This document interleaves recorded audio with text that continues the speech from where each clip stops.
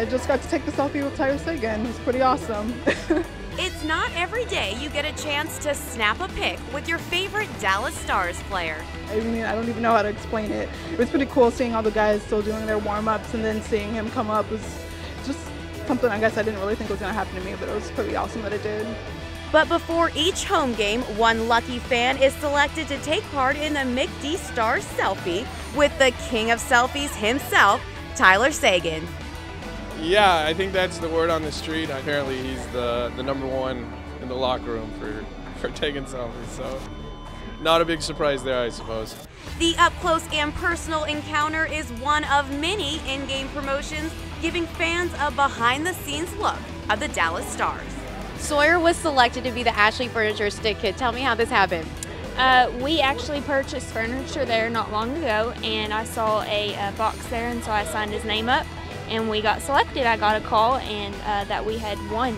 So really excited. He's been enjoying it a lot. The Ashley Furniture Stick Kid of the game gets to watch warm-ups right on the glass, meet Jason Demers, and take home a keepsake hockey stick signed by the pro.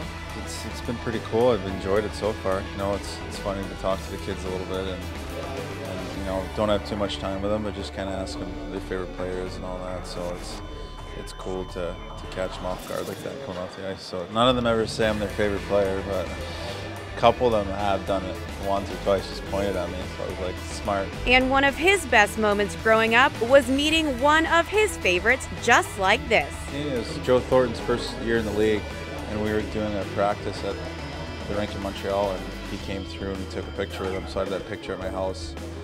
And uh, it's funny that I was playing with him for, for six years yeah. after that, so it was a cool cool little uh, side note. Most people's first hockey game, they come, they see the players, and it's still enjoyable, but to come down, the first one actually meet the players and watch them up close, it, it's completely different.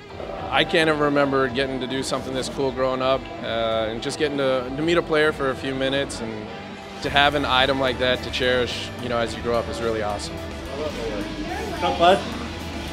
Birds. How are you? Ready to go? Another in-game experience worth holding on to is the junior starter who gets to suit up as a Dallas Star and take the ice with the team for the national anthem. It was cool because I got to stand next to them and uh, be on the ice during the national anthem. Yeah, I got to fist bump them and watch the warm up on the bench. It was awesome because uh, he's been looking forward to this forever. We've been asking, can we do it? Can we do it? And it just came up where we could actually get on the ice and let him do it finally. He's just been all week telling every, the whole entire world. So it's been awesome. On any given night, there are thousands of Stars enthusiasts in the stands, but these VIP experiences give lucky fans a whole new perspective of the game. we come to a lot of games. We've probably been to about 14 games this year, and we love the Stars, but this was a completely different experience. Uh, it was life changing for Jake, and he's going to remember it for the rest of his life. Now that you have the picture, what are you going to do with it? Probably going to be like my profile photo on like every social media thing I have. Now he's an awesome signed stick. What are you guys going to do with it? Probably hang it in his room. so um, it'll mean a lot more when he gets older, but of course right now he doesn't understand it all. But it'll be neat hanging in his room. It's great just for our fans. I think it's great for kids. It's great for families. It's a way to really get kids, you know, hooked on hockey down here. You know, uh, it's just, it's an awesome memory that I know families will hold on to for a long time.